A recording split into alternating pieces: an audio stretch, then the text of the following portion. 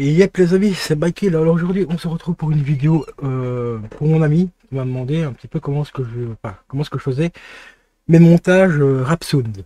Pour ceux qui se rappellent, euh, les vidéos Rapsound, ce sont des vidéos où je prends un instru rap et je mets des, des phrases cultes de films cultes. Et ici, à l'occasion du 23e anniversaire de Memento, je suis en train de faire un montage, donc justement Rapsound. Et il m'a demandé, ça pourrait éventuellement l'intéresser lui, mais aussi surtout intéresser d'autres personnes pour savoir comment je fais, si ça vous intéresserait d'en faire un aussi. Alors c'est très simple.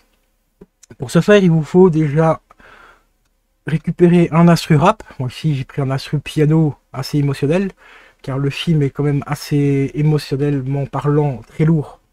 C'est un thriller hein, noir de Christopher Nolan, donc d'ailleurs c'est son premier film. Enfin, un de ses premiers films. Le premier film c'était Following, mais c'est celui-ci, Memento, qui a révélé Christopher Nolan euh, au grand public. Donc il vous faut déjà un, son. Bon, ici, je vais pas vous faire écouter le son maintenant parce que ça, c'est la surprise au montage quand la vidéo sortira. Euh, j'ai pris un, donc un instrument piano émotionnel.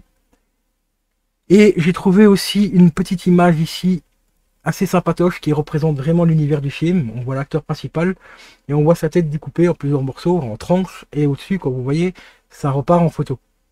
Car les photos sont très très très importantes dans le film. Pour celui qui n'a jamais vu le film, je vous le recommande, mais des yeux fermés, c'est un thriller exceptionnel.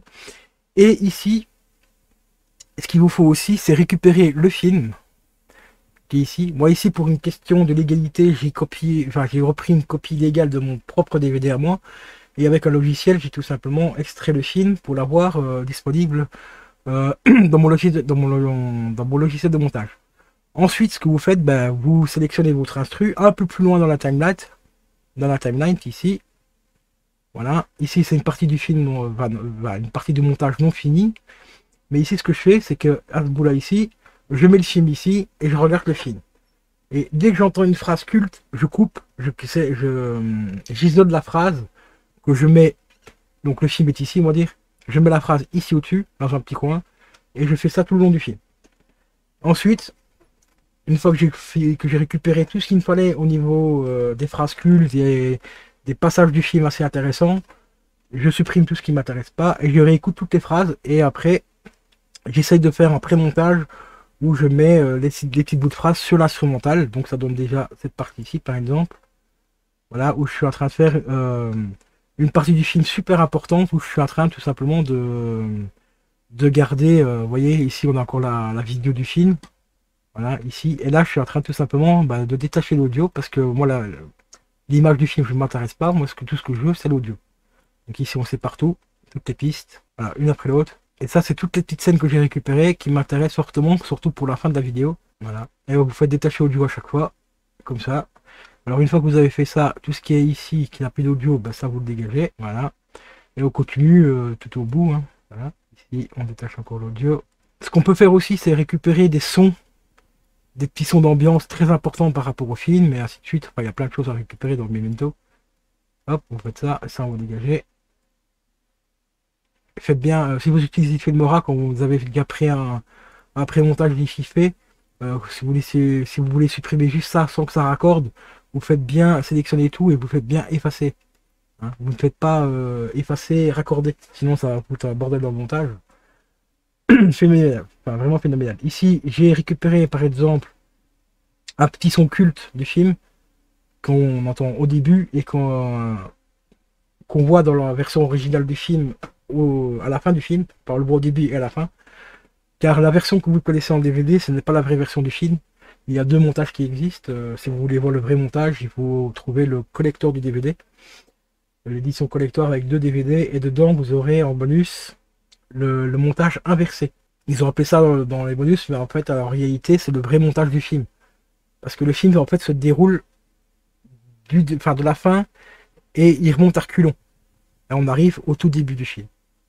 Ça, c'est comme ça que Christopher Nolan voulait faire le film au début, mais au final, on lui a conseillé ou il a carrément changé d'avis en disant que ce serait peut-être trop compliqué à comprendre. Déjà, rien qu'en montage comme ça, classique, le film est pas super évident à comprendre.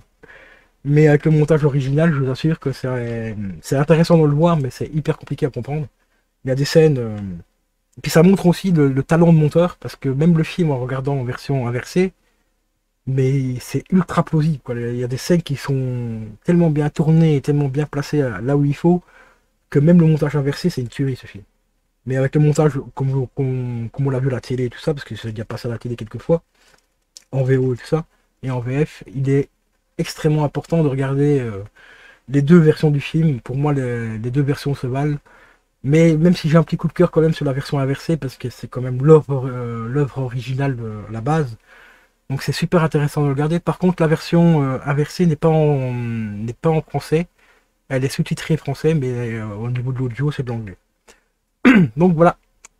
Le petit montage ici ben, commence à prendre fin. On arrive bientôt à la fin. Comme vous voyez, il me manque encore quelques petites phrases à gauche et à droite euh, à remettre dans... pour faire le montage.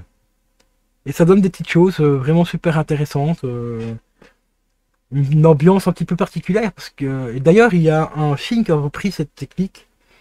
c'est The Craft. Version collector de The Craft, donc Dangereuse Alliance en français. Euh, vous avez un bonus où vous regardez le film, mais il n'y a pas de son. Il n'y a aucun son. Tous les dialogues sont coupés et tout. Et là où, euh, et dans certains passages du film, il y a de la musique, et eh ben, quand vous arrivez au passage où il y a de la musique, et eh ben, vous avez tout simplement l'OST, euh, l'OST que vous entendez des morceaux de musique en fait. Mais il n'y a aucun dialogue et tout. c'est très très bizarre, mais en fait, ils ont repris un petit peu ce principe-là en fait. Hein. Sauf que moi ici, j'utilise pas l'OST du film, mais j'utilise principalement les, des, petites phrases accroches et des phrases cultes euh, du film que je remets sur une musique, euh, soit de, rap, ça dépend un petit peu le film. Comme euh, j'avais déjà fait Retour vers futur, j'avais fait aussi Demolition Man à l'époque.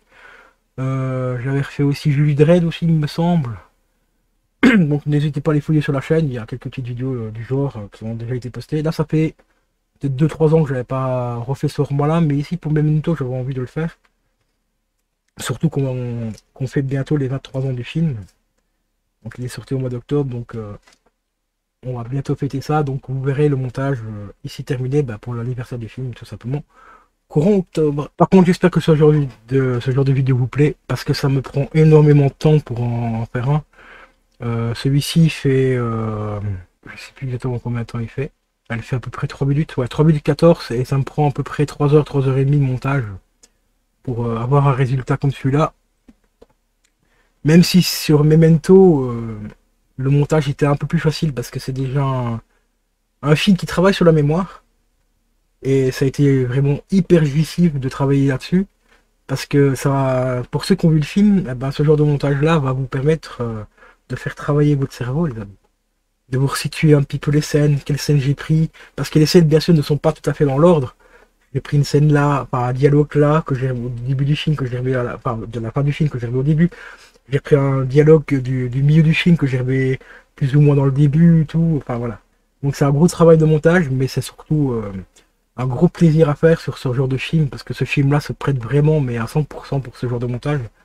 Et ça donne vraiment euh, une vidéo, mais cultissime, les amis. Donc euh, si cette vidéo t'a plu, bah, n'hésite pas à la liker. Ça serait très gentil à toi, à mettre un petit commentaire et je te dis à la prochaine. Ciao ciao